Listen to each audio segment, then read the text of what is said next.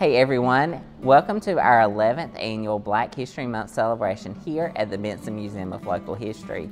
This year we are honoring Cicero Williams for his many years of service and dedication to our community. Over the next few minutes, we're going to hear from family and friends about the life and legacy that Cicero has left in this community.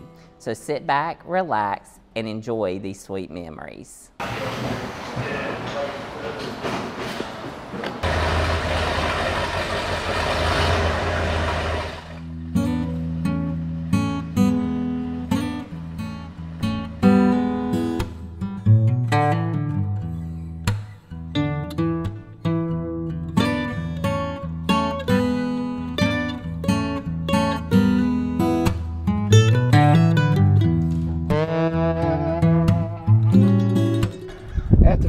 Cicero passed away in 2006, uh, the truck needed a little bit of work done to it. The, the water tank in the back had it was old. I mean, it was rusted out, so we had to put a new water tank in it.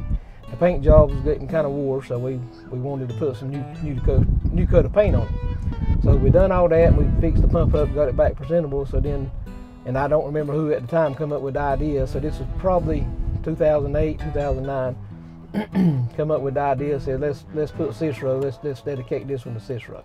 So we, we put Cicero Williams' name on the back of it and his the dates that he served on the on the fire department.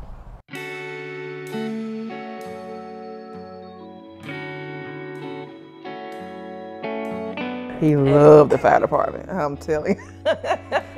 Whenever that fire whistle went off, he, he didn't care if he was in the shower, in the bed, whatever, we all had to get out the way. he would take off running. I mean, drop everything. Remember back when I was young, we used to go to the fire department. We used to walk around, clean clean the fire trucks, and just he used to let me get inside it and just look inside of it. And I remember one uh, one specific fire truck. I was small at the time. I walked past it, and it used to scare me. the front of it looked like a mean face or something. Well, I was scared of that fire truck, but he, he used to let us get up in it and see how everything worked.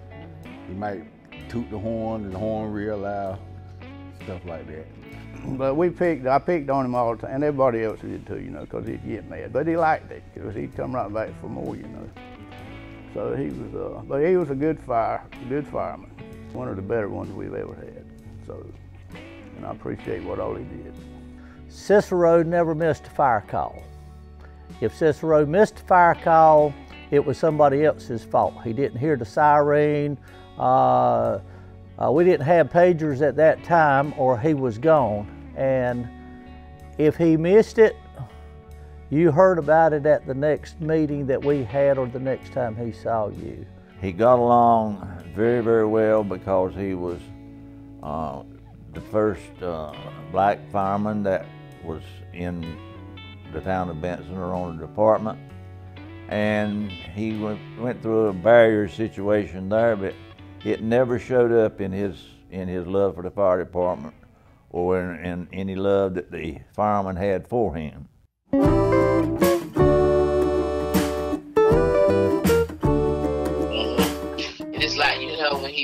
Know, when he was living and Medlin Dorman treated him just like he was, he was their own child. Whatever daddy needed, they was always there for him. They didn't never turn their back on him. I was told he worked, probably started working uh, when he was around 13 and pretty much worked here till his death. Um, for various aspects of, uh, you know, my grandfather Ralph and even his brother, Ralph's brother, Roy Medlin. And Roy Medlin was at the, uh, I think, was running the tractor dealership in the early days. And then my father bought out Roy, and of course Cicero continued to stay at the tractor dealership. Cicero was always there and he was doing whatever his job was. And, but I do remember he always uh, was very fond of an adjustable wrench. right, if he was putting a piece of farm equipment together, he would, let's say it was a one inch nut and he had a wrench that fitted the one inch nut, he would throw it down and go get an adjustable wrench. I mean, he would, he would do that. I don't know why, but uh, I reckon it fit his hand better.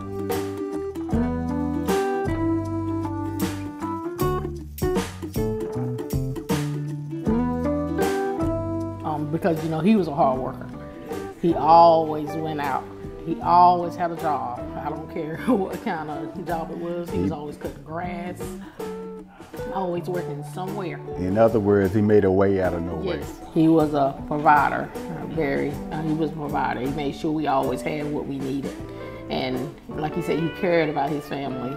Christmas time, well, we always had something under the tree, whether it was new or whether it was old. He was a good provider. He was a good father, and he just did. He he, he just did everything for us. He tried. He he was he. You know, we didn't have all, but he made it made it before we have all. Long as that, he, I know he gave us shelter, he gave us food, and he gave us love.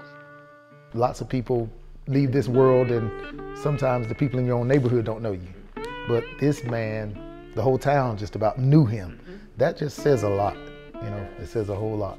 I feel like that the community uh, needs needs probably more Ciceros. Yeah, very very dedicated fireman. Yeah, really was. As far as the community, he filled a very important role for the Medlin organization and for other members and, people in town who needed a little help for anything. He would there to help them. Uh, if they had a tree tore down and something he could help them get it out of the way, he was always willing to devote his time and efforts to do that. If something was wrong with a truck or something, we always had problems with trucks. If something, you know, if you had a fire and you about every time something would be wrong with something, and so he was the one I would call because, I mean, he would come help me. If you had to do something, if you had to change a valve or something on it, he would he would help me. And there was others too, you know. There was others too, but you know, he was he was the first one I'd call because I knew he was was readily available.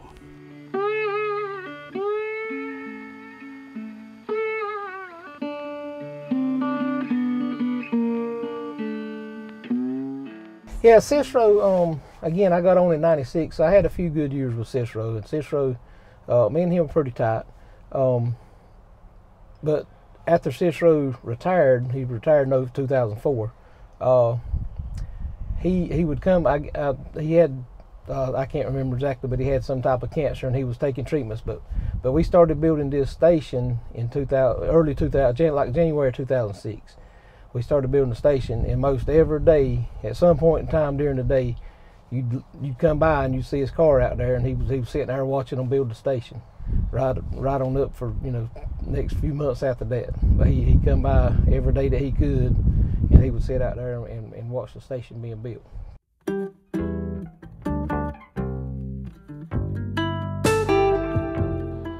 Uh, Cicero was honest, hardworking, and obviously, I think anybody that was around him could tell he, he had integrity and took pride in what he did. Um, and, you know, was just a hard worker that would do whatever task was at hand, you know. I think if he was here, his advice to everybody would be no matter what you put your hands to, never quit. See it through and give it the best that you got. And not only not to quit, but always put your best foot forward. You know, don't don't have to do anything. Because every time I saw him, he was a hustler. Whether it was his main job or side jobs, he always was finding a way to make money and take care of his family. So I believe he would just always tell everybody, don't quit. Just keep pushing forward, keep moving, and the sun is gonna shine. Just keep going. To love all people, regardless of who they are, to love all people and to treat everybody fair and right. Work hard, and working hard pays off. Showing love to everyone, smile and never quit, and also helping others, like I was saying. And the best piece of advice he gave me was uh, he gave he be dependable and and be the verse, the very best man that you can be. From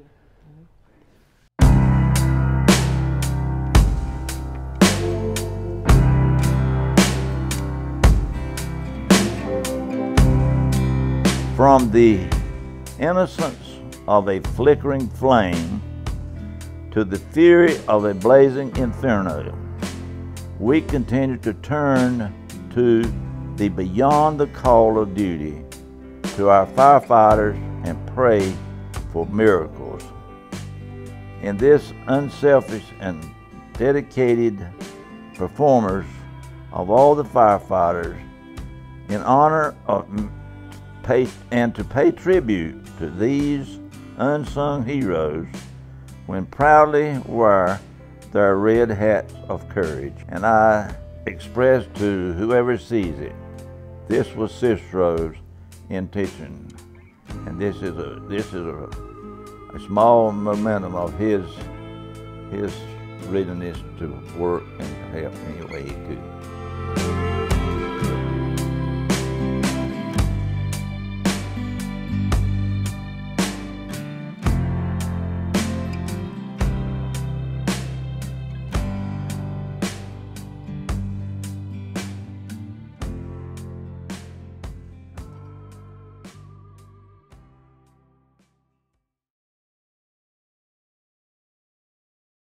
Welcome back, everyone. We hope that you enjoyed hearing the memories and the stories shared by family and friends over the past few minutes.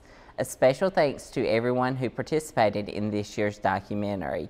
It really made it a special event for this year's Black History Month celebration. Thanks again, and Cicero, congratulations.